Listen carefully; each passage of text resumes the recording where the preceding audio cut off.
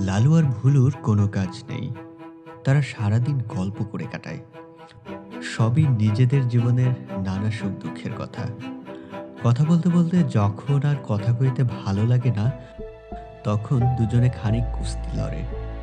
তাদের কুস্তিও খুব একঘেয়ে। কেউ হারে না। কেউ যেতেও না। কুস্তি করে তাদের ক্লান্তিও আসে না, ঘামও ঝরে না। তার কারণ, লালু আর ভুলু দুজনেই ভূত। প্রায় চোদ্দ বছর আগে দুই বন্ধু মনুষ্য জন্ম শেষ করে ভূত হয়ে লালগঞ্জের লাগোয়া বৈরাগী দিঘির ধারে আশ্যাওড়ার জঙ্গলে ঘাঁটি গেড়ে আছে। মামলা মোকদ্দমা থেকেই বাক্যলাপ বন্ধ হয়ে গিয়েছিল। তবে আশ্চর্যের বিষয়, বুড়ো বয়সে মাত্র সাত দিনের তফাতে লালু আর ভুলু পটল তোলে।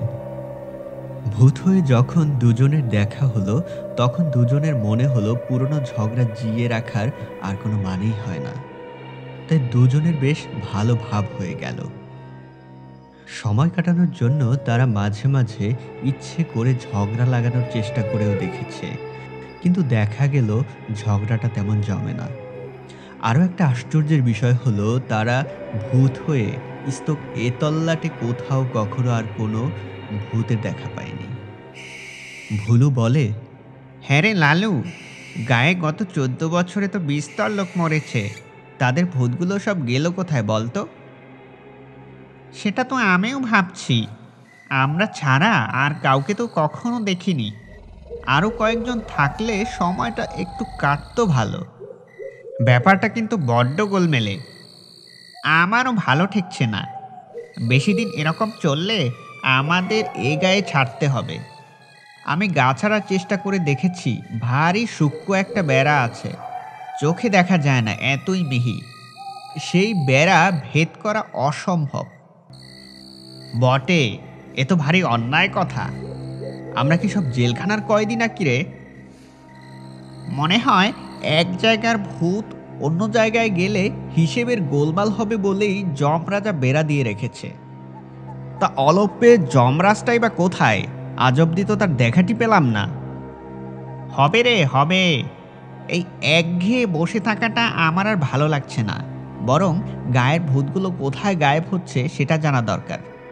আরও গোটা কয়েক হলে দিব্যি গল্প টল্প করা যেত। দল বেঁধে থাকতাম। তাহলে খুঁজেই দেখা যাক। তাই চলো। দুই বন্ধু মিলে অতপর ভূত খুঁজতে বেরোলো। কিন্তু খুঁজতে খুঁজতে হয়রানি সার হলো। একটা ভূতের গায়ের আশো দেখা গেল না। বড় চিন্তার কথা হলো রে লালু। বটেই তো, এরকম তো হওয়ার কথা নয়। একটা কথা বলি, যতীন মনসুদ্দির বয়স হয়েছে। অবস্থাও কদিন ধরে খারাপ যাচ্ছে। এখন তখন অবস্থা। চল তো গিয়ে তার শিওরে বসে থাকি। আত্মাটা বেরোলেই খপ করে ধরবক্ষণ কথাটা মন্দ বলনি তাহলে চলো যাই। দুজনেই গিয়ে যতীন মৎসুদ্দির শিওরে আস্তানা গাড়ল। খুব সতর্ক চোখে চেয়ে রইল যতীনের দিকে। যতীন বুড়ো মানুষ, শরীর জীর্ণ, শক্তিও নেই। দুদিন ঠায় বসে থাকার পরে তিন দিনের দিন যখন গভীর রাত, তখন লালু আর ভুলু লক্ষ্য করল যতীনের আত্মাটা নাকের ফুটোর কাছে বসে সাবধানে বাইরে উকি ঝুঁকি মারছে। লালু চেঁচিয়ে বলল ওই বেরোচ্ছে সাবধান রে ভুলু। গ্যাচ করে ধরতে হবে কিন্তু। হ্যাঁ একবার বেরোক বাছাধন।